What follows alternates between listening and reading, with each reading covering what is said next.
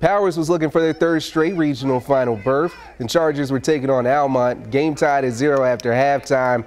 And Powers only needed one goal to get the job done. Lexi Africa provided it. The Chargers are moving on one to zip.